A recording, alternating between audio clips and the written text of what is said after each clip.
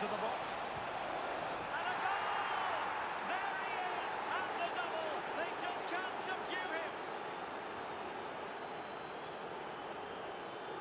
Well, here's the replay, and just look how quickly they break forward once they win the ball back. And his movement's so clever.